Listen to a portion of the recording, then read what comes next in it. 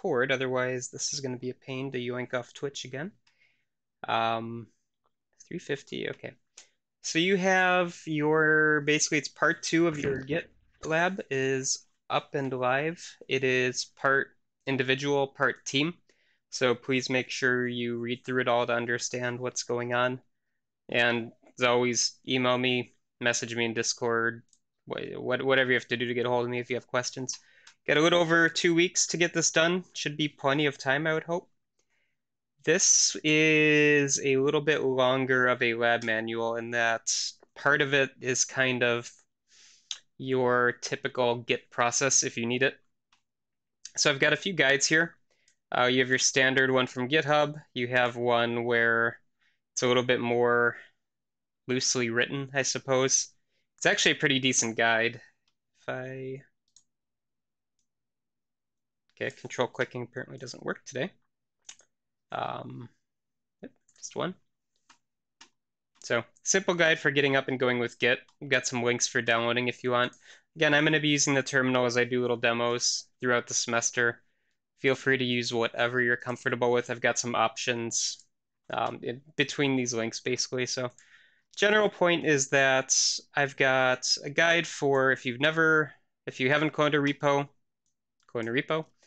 Once you're there, I've got all the steps you need to do a basic update and commit and push. So lots of verbiage here. And if your eyes start going cross-eyed and you gloss over and you fall asleep, here's the TLDR. Git pull to get your changes from your teammates. Make your changes, track your changes, commit your changes, push your changes. So pretty straightforward. Um, I have also updated the base repository for the term projects too. I noticed a couple of you were sneaky and already forked it. Make sure that you do a merge if you went ahead and got that going already, because there is now meeting minute template and a project proposal template up there. It's pretty straightforward to do like right in the GitHub interface. If you need any help or anything with that, let me know. But basically just do a, uh, you'll see the message that says 350 bases ahead of you by like three or four commits. Then you just do a pull request and then automatically merge and it should be okay.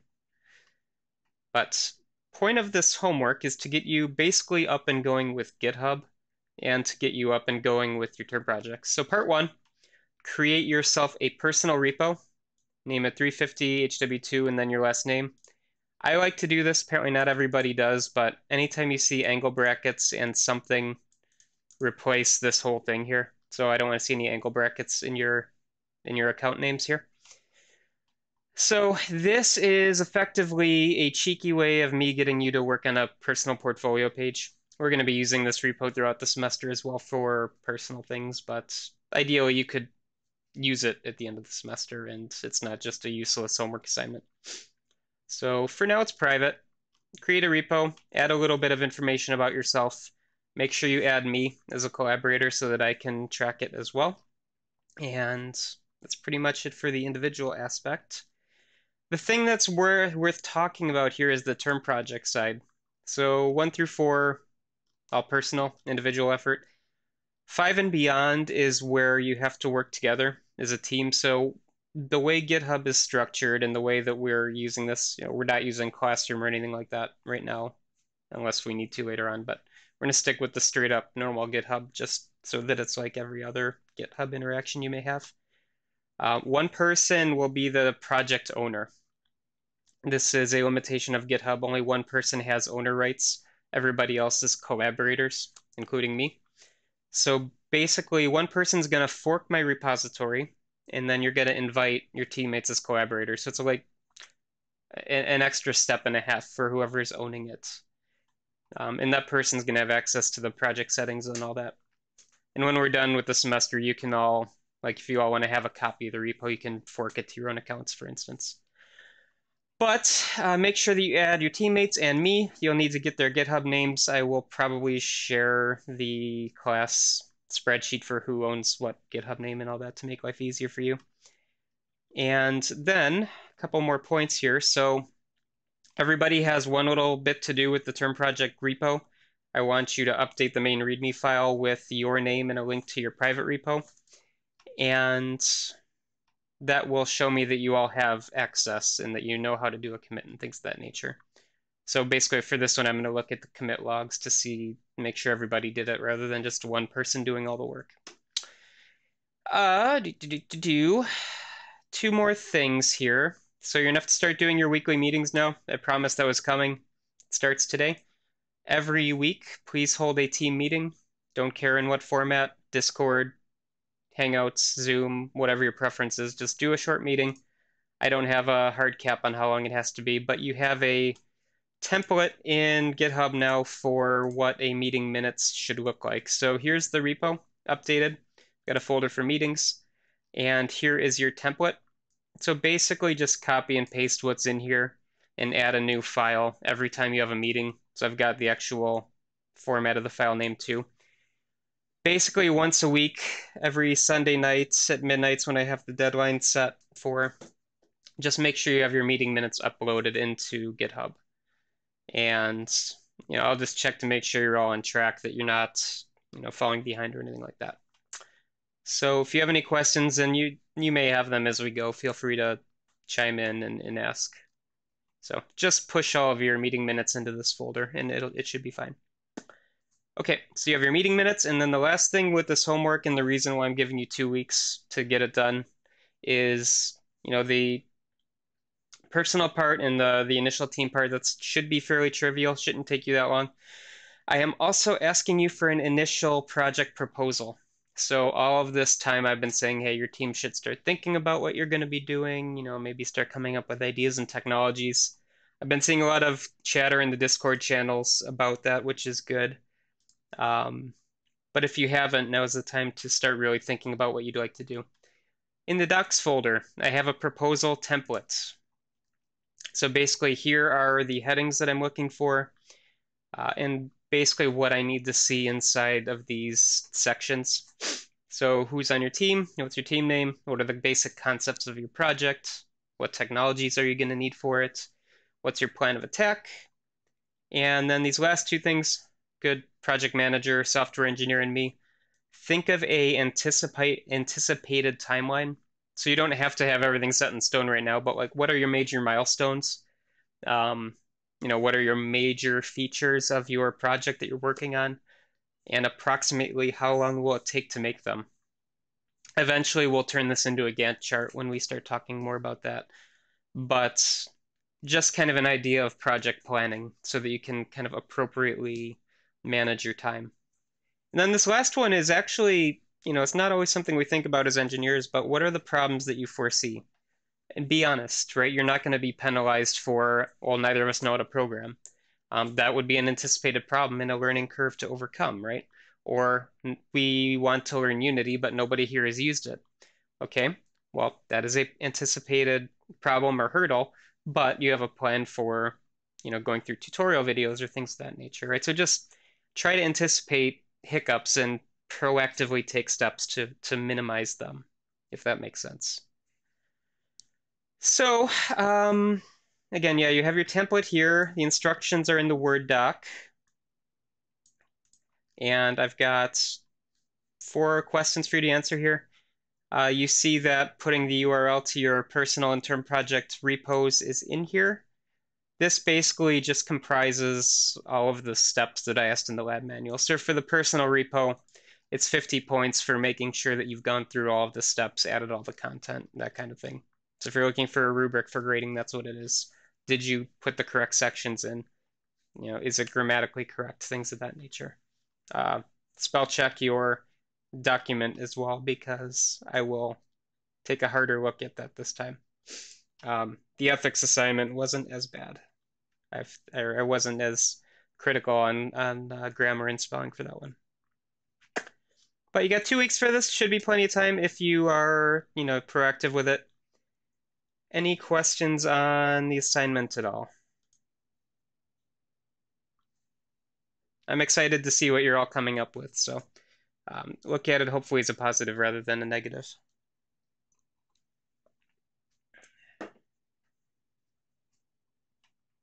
And if uh, GV students lagging, I'll keep an eye in chat to see if any questions start filtering in.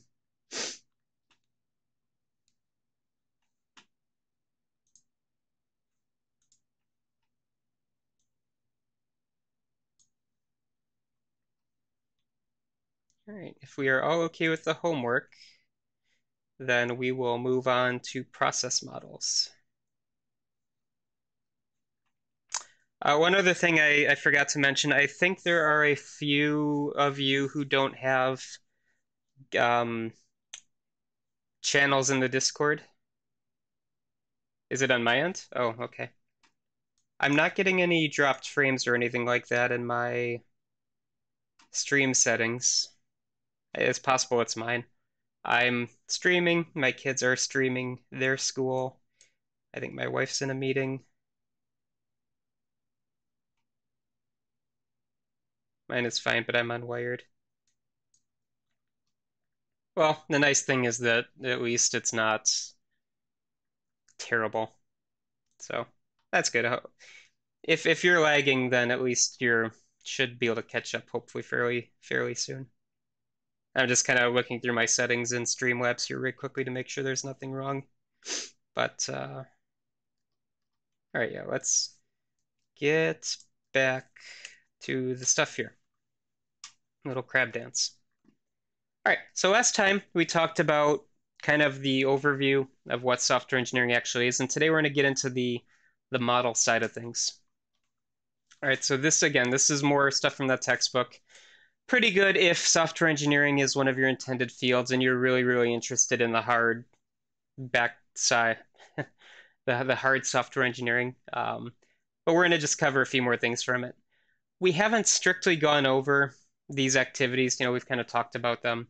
We talked about having to do testing, the development's one piece of the puzzle. So we've kind of gone over gone over some of these things. But what we have to do for any good software engineering project is to have a good rigorous process for putting it all together. So how do we have a formalized, rigorous way to deliver something that has measurable quality? Right, measurable quality is kind of an important concept. It's not just that it's good, it is measurable according to your um, artifacts that you set up that I've met all my requirements, all my test cases are passing, things that nature. so let's talk about the process. The process, the process, the process. This is something that I like to kind of roll my eyes at as a normal human being, but as an engineer, I understand the need for it. Every single project needs to have a formally defined process. Depending on your project, you may need a different process. and what I mean about this by this is that pretty much every um, any software project you have, and honestly any engineering project, if you take a step back and look at it, is going to have a handful of steps that are all the same. So you're gonna have your requirements step, you're gonna have development, testing, software integration, release, all of these various aspects that you have to go through, they're gonna be there for every single project. The notion of the process, and why I put this in air quotes, or maybe all caps or anything like that, is that these steps are all going to be there. They're just going to be put into the puzzle a little bit differently right? So I might slot requirements in later if I'm doing something a little bit more agile focused. Or requirements will go at the top if we have very well defined requirements. So it just is a matter of what your project needs are. And I, as a apparently an, an ancient person on the internet now, I tend to like the older style process where everything is more set in stone at the beginning and you can just do your your development activities. Whereas kind of the new world of software development is that everything has to be flexible right? Your customers need to have input your users need to have input on the process and you almost get into an iterative push and pull type of situation where okay we don't have hard requirements at the beginning. They're evolving over time along with the needs of the the business the customer the market for instance so we have different viewpoints here. And the keyword of today is going to be trade-offs, honestly. That's going to be the keyword pretty much for every software project or discussion, honestly. But what's more important to you right now, and what can you live with, for instance? So overall, process, process, process, process. We are going to consider this in terms of effectively a glorified block diagram. All right, so each phase of a process is going to have lines going in and lines going out. The important part is where those blocks go, what is going into each block, and what is going out of each block. We might have sub-phases or sub-processes. We're going to have um, ways to go back, ways to go ahead, um, stakeholder input, so on and so forth. Uh, we're also going to have uh, constraints, meaning that this could be in like in slide here, there's schedule, there's monetary constraints, safety constraints, basically what is going to focus this aspect of your project. You also have resources, people, money, knowledge, all of these things are going to be necessary at various phases here. And why do we care? Um, this is probably one of the drier parts of software engineering in a uh, field full of dry topics. But this gives you consistency, this gives you structure. I can guarantee when you go into industry, you're going to start following some kind of a process for your project, depending on your environment, obviously. You might be following Agile or something a little bit older, but all of these processes are going to be a requirement for, for instance, like an auditing body. So somebody external is going to come in and make sure you're following your process to a T. They don't care which process you're following. They just care that you're doing it. Right? This gives you consistency. This gives your project structure. This ensures that the output of your project is believable in that you are not violating any any pro or any requirements, safety concerns, ethical concerns, so on and so forth.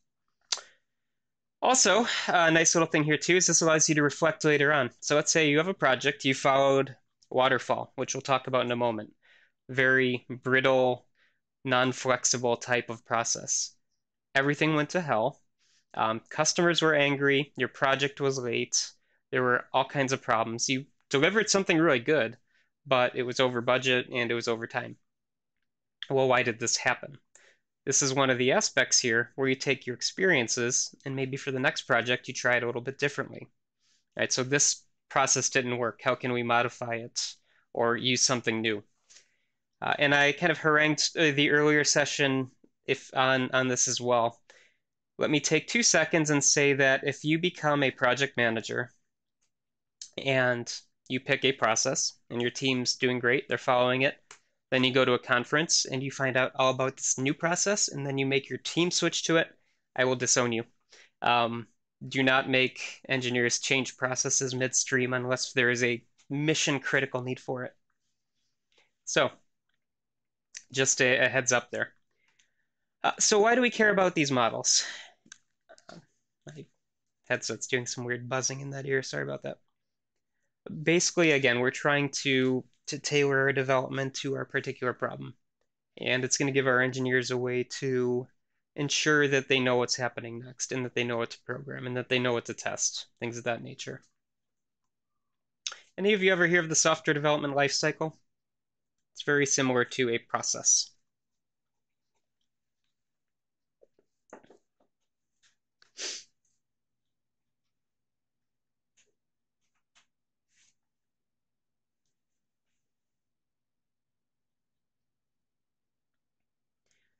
It's a very circular process. So basically it's plan, system, implement, test, I think, and it's just a little circle of a, it's almost pie chart-esque, I suppose, but just it's a circle of development, basically. These are the key steps that you're going to have with any project. And you don't necessarily well, you care, but each process will have a different set of these phases and where they factor in. So you're always going to have to have requirements, right? This is going to tell your engineers and your testers what the system is supposed to be doing, how implementation is supposed to happen, right? We'll get into requirements analysis and elicitation and what a good and a bad requirement is and all that fun stuff later on. This may be different depending on your process. So if you go a more formal route, in a more statically defined project, this will be very specific natural language written out requirements for you know this sensor operates within this this particular range of values. This vehicle can only go between such and such a mile per hour if the cruise control is on. So you, you're basically building out your features. Whereas you get into a more flexible process something like agile requirements become a little bit more flexible. They become kind of like user stories where your features and your your desired outcomes are a little bit less rigorously defined. Later on, you'll have to make requirements, but your features are basically going to be built based off of like index cards, for instance, and here is what this feature should be doing, right? So things of that nature. Uh, you're gonna have your system, your architecture level design. So what is the big picture of how all your pieces fit together? How does data flow from module A to module D, so on and so forth? You get into your program level. This is where we start talking about our various you know, low-level UML models like class diagrams or sequence diagrams or things of that nature. Things you all will be doing eventually. And then we take all of this initial effort and we turn it into code, right? So requirements tell us exactly what is going to happen with our code. You just have to translate that into Java, C Sharp, C, Python, Lua, you know, whatever your language is of choice. Then we have to test it. Does our code work? Does our code satisfy our requirements? Do our requirements satisfy our design decisions? So there's basically this whole notion of traceability from requirement to system architecture to program lines to so on and so forth. And you have to deliver your system. Is the client's happy with what they got? um, and then we have to maintain our software. I develop an app, I release it on the Play Store, and I will maintain it by releasing bug fixes, patches, you know, read through the user comments and pick out the ones that are actually non-automatically generated. Or I'll get user feedback whenever an error occurs and I get an automated stack trace or an automated sequence of events that cause this bug to happen. Right? So we have to basically plan for maintenance in our in our process. Maintenance can be uh, not argued, but discussed. Like how long will I maintain a project? I'll release patches for two years and then I'm done, something like that. Or if it's passion project, you probably maintain it forever. See Dwarf Fortress, 20 some years in counting. All right, so that's all the high level stuff let's talk about the models, and that's pretty much all we will do for today.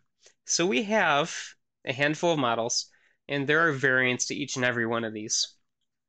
There are basically revisions for all of these models that are per, they're basically either shortcomings were identified or a particular business environment has determined that this model is great, but we need this. So keep in mind, what I'm going to be showing you and going over today, this is how the academic community views these particular models. If you go and work in industry, and let's say you pick up, hey, we love the spiral model, we're going to use that. You may modify it for your own personal business needs. The important part is that whatever process you're following is documented. Um, and I'm not going to stand here and tell you that you're going to be picking this for every project either. It's good to be aware of what these are. Unless if you are the top dog at your company or the head of quality or something like that, all of this is probably going to be predefined for you. It, it depends on your environment, right? If you go to a startup, who knows what the process is there. But if you go to a middle to larger tier corporation, they're probably are gonna already gonna have all this defined for you. But it's good to know what they are. All right, uh, caveats done, I suppose. Let's talk about waterfall. This is one of the oldest software development models that are out there, software process models. It was based around manufacturing processes. So if you think of manufacturing and how linear that can be, same concept comes out in waterfall. So I'm gonna just kind of pop these all up here. Basically, waterfall is a great process if your requirements are set in stone, right? Nothing changes. and that's why I said these kinds of models are somewhat brittle. You have a very, very rigorously defined initial phase. Here's what the customer wants. Here's our requirements. We're going to build off those requirements, all of our other artifacts, get to development, get to testing, get to release. Here, customer, have your project two years later. We're done. So you're going to have these kinds of milestones, these steps. So this is waterfall, and I've got a picture here which helps a little bit. So what we see is this tiered model where it's modeling a waterfall because software people love our cute little puns. Start off at a high level, requirement analysis, get into architecture, program design, coding, so you can see that everything's flowing downwards until we get to release maintenance, that kind of thing. What's the one problem you might see with this? And I kind of alluded to it already. Anybody have a guess for the problems here?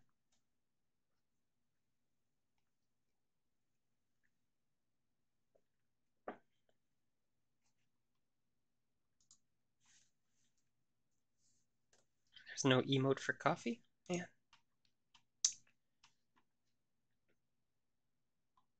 What are some of the issues with this kind of a model?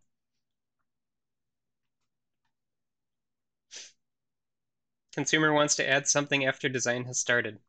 Sure. Features changed. Customer wants some input here, right? There is no room. Returning to old steps, yeah. There is no way to go back. If you want to go back, you have to start over. Hiccups in production. Yeah, so we release it, we put our code onto a uh, onto a board. You know, we burn it onto EEPROM or something like that. And we have to change our software. I mean, holy crap, that's going to be awful. you have to go all the way back to requirements analysis because everything has changed. There is no way to go back here. And again, we are rigorously following a process here. If we skip a step, we're going to lose our ISO certification. And then we're effed in terms of the market. Okay? You can't just like go around willy-nilly. You actually need a formal process to go and change something. So here you get to testing, you get to release, and like you said, there's a uh, change needed to be made for performance. All right, let's add in multi-threading. Let's declutter our memory, for instance. Hiccups in production. You have to go all the way back and go through the whole process again, and this can be years of effort. So this is not always the best way to go about things. That being said, if you have, like I said, a rigorously defined project where everything you know, we're happy with the requirements, and if they change, then it's a new project. Well, fine, this is great, right? All the heavy lifting's done at the beginning, then just give it to the programmers, give it to the testers, and you're done. This did work for a long time, honestly. But like you're all saying here in the chat, there's no way to go back. Any real project, especially these days, where everybody is a stakeholder and needs to have their say, you're going to be jumping around from steps pretty crazily. So you're not necessarily saying that waterfall is bad, but you're going to need extensions to handle flexibility, right? So there's no iteration here is kind of the key takeaway. Uh, the other thing too that I also mentioned as well, so you all got these points, right? There's no no handling changes or problems. You also have a very long wait before you get your final product because the corporation or whoever is developing the project, they're going through all these phases, and the customer's not seeing the product until delivery. Whereas a lot of times customers want to have incremental feedback, right? Is your system something that we want to pay for or something that we're interested in? And I'm gonna I'm gonna caveat all this in terms of like a, an industrial business project. The same things apply to open source projects right? If you have a passion project you're working on, something fun or cool, and you're just developing this in secret for 10 years, nobody will ever see it, and nobody's there. There's not going to be any interest in you release it, right? Whereas if you give iterative steps like uh, betas, there you go, along the way, you know, you can take that feedback and refine it. For instance, otherwise it's just here's what you get at the end. Again, it's a trade-off Waterfall is great for the programmer because everything's rigorously defined. at the cost of flexibility. All right, so the next phase here is let's tack on an extension to waterfall. Let's throw a prototype in the mix. All right, so we're going to prototype along the way. We're going to build versions. So version 0.1, 0.1.1, 0.5. You know, we're going to kind of iterate as we go, show our users where we're at and get their feedback, right? So we're going to throw out some prototypes at our various stages. So here, we still have our standard waterfall model, but we're going to add some prototype phases. So here is our prototype based on what we know at the requirements level. Okay, well, it's great, except for this login screen looks awful, fix it. Okay, let's take that back into requirements.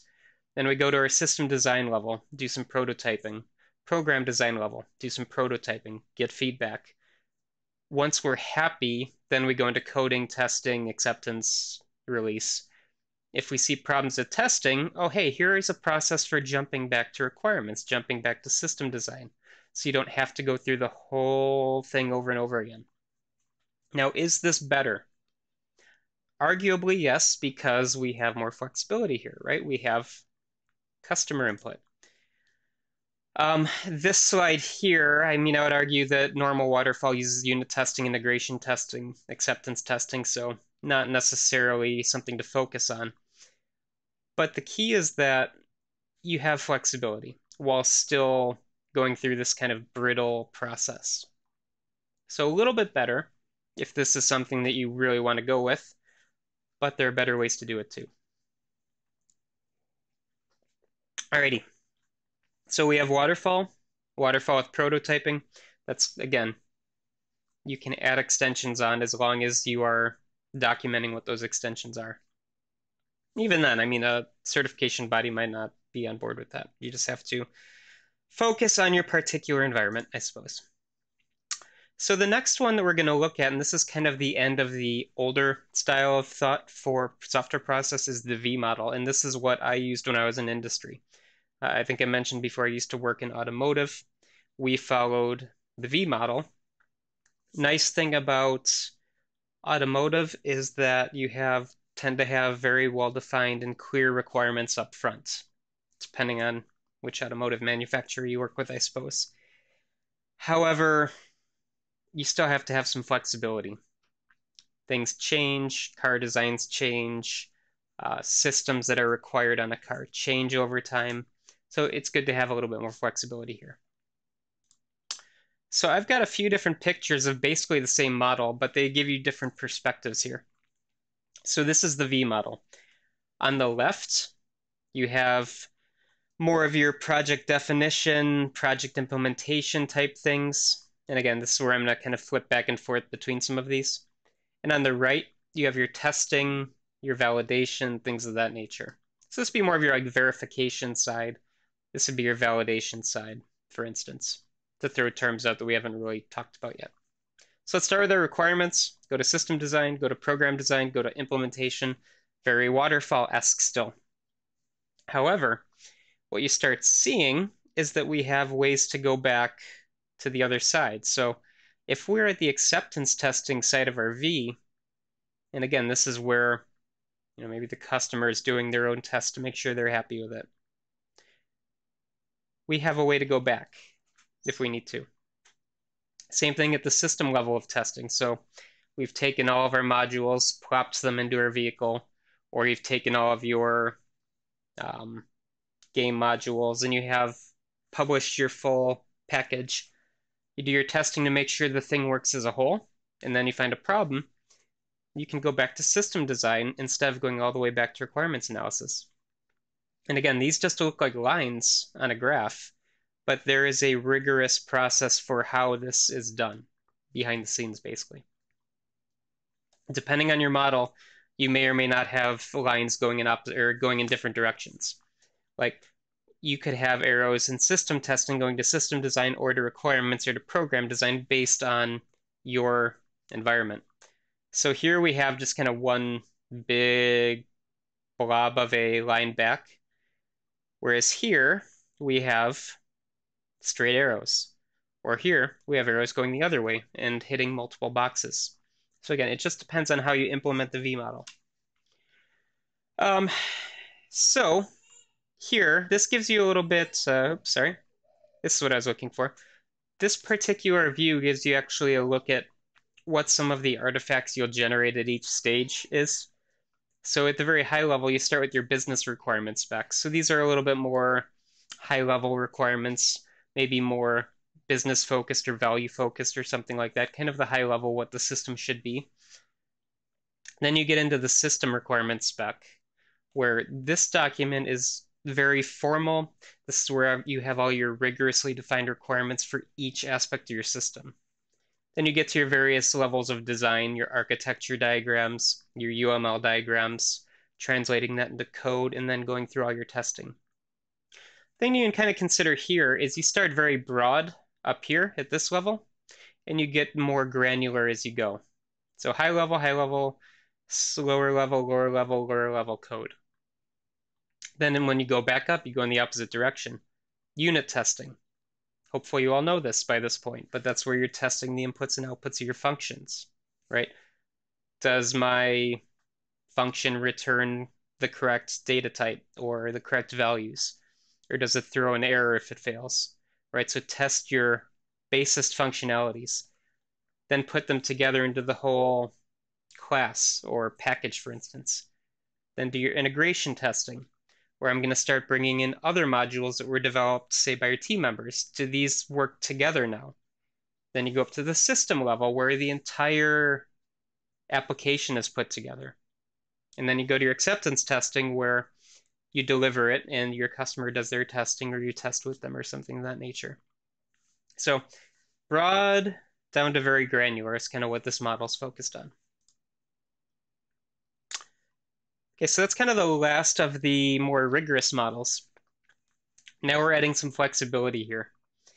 I'm going to speed up because I'm kind of talking a little bit slow today, but we have first prototyping. So this is a more iterative process where you are basically, okay, just hear beeping, make sure I'm not stroking out or something. Um, so prototyping is where you're going to have iterative prototypes as you go, and here you have a lot of customer feedback. So you're going to start with requirements. Could be informal, could be incomplete, maybe a little loosey-goosey, and you develop a prototype based on what you know. At this point, you're going to do user studies, do customer studies, do internal studies, basically what works, what doesn't, let's refine the prototype. As we refine the prototype, you refine the requirements for it. So it's kind of a symbiotic development cycle. And so we're happy with our prototype at this level. Now let's look at the design level. Okay, so again, architecture diagrams, things of that nature. What revisions do we detect here? What's necessary to change? Feed that back into the requirements, feed that back into the prototype, and do this kind of iterative process again as we go. So design, sorry, I said system level, I meant design level. System level, same thing. Testing, same thing. Deliver the system, which is basically the most stable prototype that you have. So here you see a lot of interaction with the customer. You see a lot of interaction with the users. You're co-refining the prototype. You start talking about things like this and you start seeing why a lot of the early access models are following uh, similar processes here for games. All right, so we effectively have live prototypes. Um, the key is that the consumer is aware that it's a prototype, not a fully developed game, I suppose, or project. Little bit of a splinter off this is a phase development model. So here you're going to be doing something kind of similar in, in theory, uh, but it's different under the hood. So you're going to deliver your system in pieces here. So I'm going to build up aspects of my prototype and deliver that. All right, so I might have a working prototype with particular features activated. That's my current release.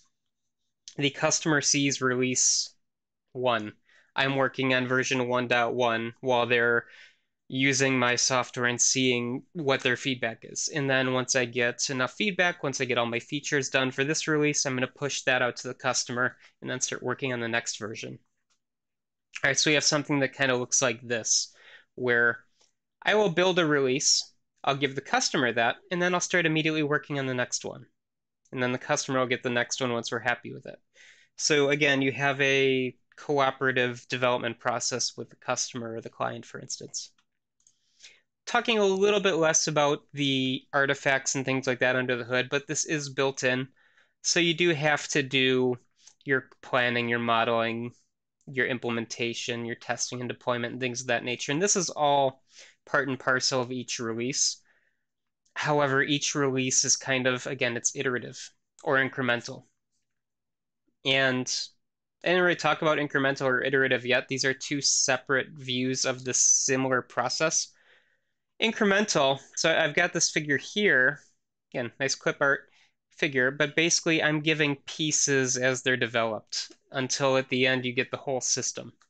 So I've got module A here, I add on module B in the next release, I add on module C, and then that maybe is my final release or something like that. So that's incremental. I'm building it up over time. Iterative, slightly different in that I have all of the major features in there. I'm just refining each one as we go. So I might have like a skeleton function in here or a stub or maybe base functionality to get it to work. And as we go through a release cycle, I'll flush that out or I'll refine it or maybe it's good enough, who knows. But again, similar ideas, just kind of different viewpoints of the same process. All right, so that is incremental and iteration. Uh, nice thing about this kind of a view is that, again, you have early customer, early client feedback, so you can basically know what they want already. Um, you can start training early because you have ideally a fully fleshed out um, prototype or release or something like that. So you can begin teaching people how to use your software or um, you know, getting their feedback for how they want to use your software depending on what your priorities are. Uh, another interesting thing here too, and this is kind of why I like to talk about early access a little bit and why that strategy actually has been working. You can create a market for your product before it's done. Um, replace market with hype, and then you have social media, I suppose. Oh yeah, and then again, you can consider frequent frequent releases in here to solve problems as they come up. So we're getting more flexible in our design process. All right, two more here. So first we're going to talk about spiral. So this is an interesting view. Looks like a spider web. It's basically just a spiral development pattern. Uh, we have four key aspects here. You can do your planning. You're going to do some more uh, mental gymnastics to make sure that all of your goals, constraints, alternatives if problems come up. So these are all planned for. Uh, going to evaluate these, then you're going to develop and test. So I've got a figure here which is very, very busy. So I'm actually going to go into the next one. Uh, but this one's a little bit more filled out in terms of what's happening at each section of the spiral. But you're going to start a project. You're going to communicate with whoever you need to talk to developers, clients, quality, et cetera, et cetera. So you're going to do that phase, go through planning phase. Planning is going to be feasibility analyses, scheduling, staffing, so on and so forth. Next phase, do your modeling. Again, UML models, architecture diagrams, then go into coding and testing, and then deployment. So this would be one turn of my spiral here. Delivery feedback. All right. Then we go into the next one and the next one, and the next one. Again, very iterative, very incremental, for instance, right? But every piece of the release cycle is accounted for in one turn of the spiral. So ideally, we are getting fast feedback. We are being very flexible with how our requirements can be updated. All right, so it's kind of a nice view. It's it's almost like a step between like a, a waterfall or a V and something more agile. Okay, so it's uh, it, it's an in-between type of thing. All right, six minutes left. Let's talk about Agile. I'm giving you the scatter shot high-level view of these. The important thing is basically that you know what they all do and why you would use one or over the other. Yeah, it's a secret to engineering, basically, right? Know when to use it and then figure out the, the specifics after. um, so the last thing to talk about here is Agile. Agile is currently the biggest buzzword in software engineering, unless something new has supplanted it in the past couple weeks. more than likely, if you go to a forward-thinking firm or newish company, it's probably going to be something Agile related. You know, startups love Agile. There are a ton of splinters off of the Agile method, but the whole point is that whatever your process is, it follows this manifesto that was come up with a while back. Um, we care about the people and their interactions. So we don't necessarily care about the process, don't care about the tools, don't care about your case tools, your computer aided software engineering tools. We care about people. We care about teams that work together. We don't necessarily care about comprehensive documentation. It should be there, but we want working, functioning software. Um, we care about customers rather than contracts. We care about change rather than rigorously defining requirements. Basically, very, very flexible, very fast, very agile, right? So that's kind of the idea here. Depending on um, your environment, again, there are a ton of different agile methods. Extreme programming stuff, a fairly commonly known one. Scrum, I think, is probably taken over as one of the more popular ones. Uh, there's Kanban, there's adaptive software development, there's Crystal, which has its own set of flavors based on how safety critical you want to go. Um, honestly, more likely than not, you'll probably do something Scrum esque where you have teams that self organize, you do daily stand ups, um, talk about what you're doing today, what you're doing tomorrow, you know, what module am I working on today, that kind of a thing. There is just so much you can get into with Scrum. You can even be like a Scrum master and get Scrum certified and things of that nature. But if we kind of focus on extreme programming, for instance, and this is sounds like something straight out of the 90s in terms of its extreme. Um, the key concepts are interesting. Care about communication. So customers and developers should be talking, should be refining our prototypes. Uh, simplicity is important. So if you're developing a module or a document, it should be as simple as possible without sacrificing quality, basically. So the, the KISS principle applies definitely. Courage, this is an interesting one in that they encourage you to build good functionality early enough and often, even at the cost of looking silly or you know bad if a problem crops up. We just go back and fix it, right? We care about the people and that they're learning and growing as well as delivering solid solid products. Then feedback. You have a feedback loop at every step of the way, so the customer sees refi- uh, requirements can be refined, use cases can be refined. Um, basically, it's a very very easy way to have fast feedback and fast turnaround time. I'm going to leave this slide up here, but with kind of the scatter scattershot view of these different processes, um, is there any problem that you can see with going with something like Agile or prototype development? So basically, you have these very quick and flexible methods. What kind of problems could you see with that? because it's, it's I mean it's not all sunshine and rainbows when somebody's selling you something that is the end all be all of software development. Um, what kind of problems can you have with Agile, for instance?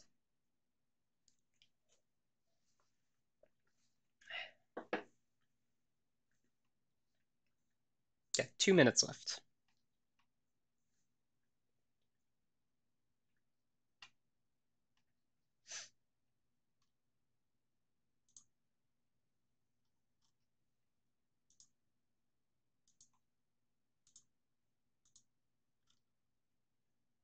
Anybody know what we got going on here?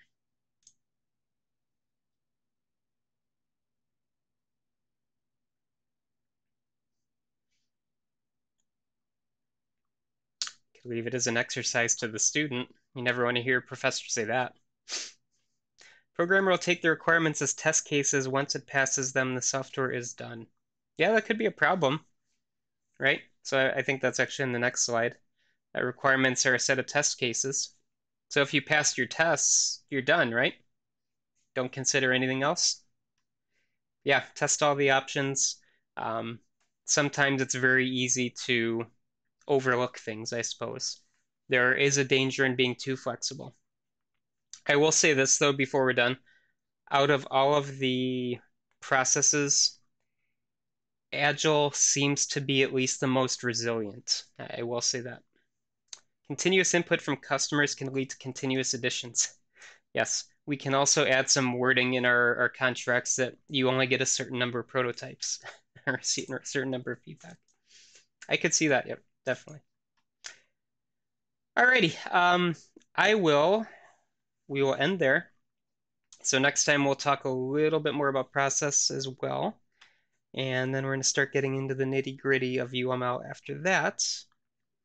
Um, otherwise, if you have any questions or anything like that on the homework or anything, um, please let me know. Otherwise, we will be done for today.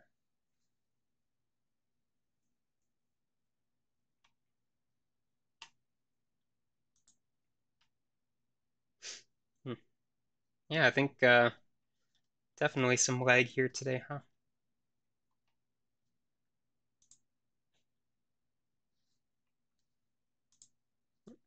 Okay.